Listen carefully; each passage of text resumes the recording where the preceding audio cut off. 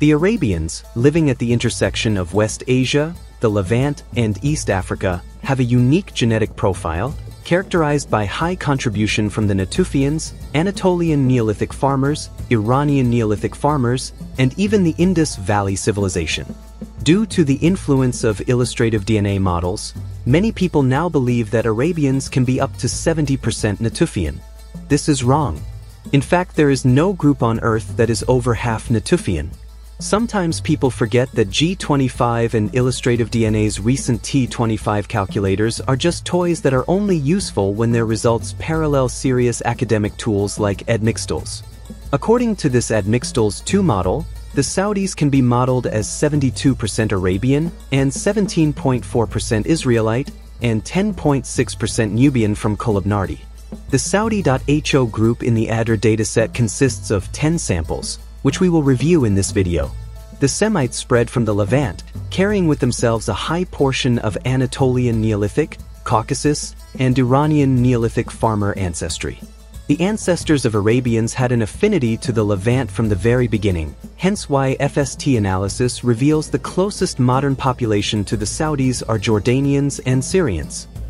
For this video, I gathered every sample from the Saudi.ho group on David Reich's ADR dataset and then ran them through my trait predictor tool for DNA analysis to determine their traits and predispositions.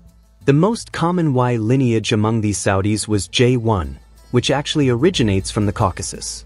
African E lineage was common too. The most common predicted phenotypes were Pamirid and East Alpinid. The most common predicted eye colors were various shades of brown, but two samples did have light eyes. No sample scored hazel as their predicted eye color.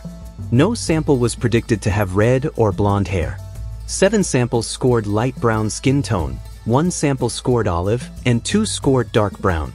The most common predicted hair texture was straight, but there were samples with curly and even kinky hair too. By far the most common predicted nose shape was Greek. Eight samples had a high predisposition to male pattern baldness, and two had reduced odds of baldness. The Saudis had high odds of autism.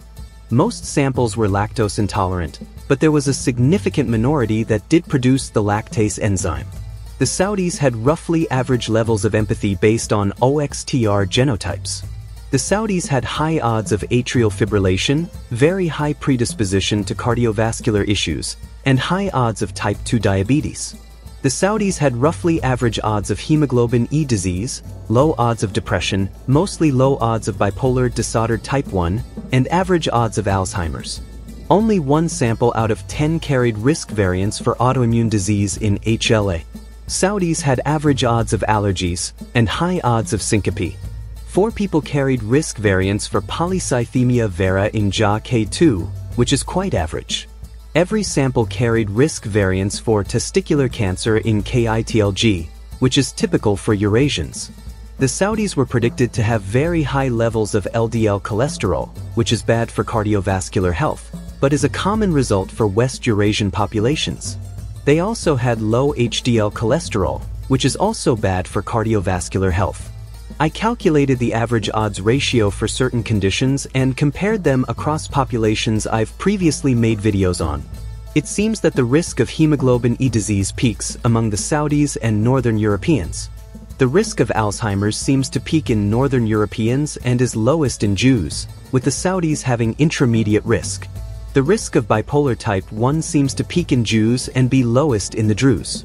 The risk of type 2 diabetes seems to peak in Jews and Saudis. Cardiovascular risks peak in Saudis, and the odds of atrial fibrillation are also highest in Saudis. What do you think of this analysis? Leave your thoughts in the comments section. The links to purchase all their raw DNA data will be in the description along with the links to purchase Andrei DNA products and services.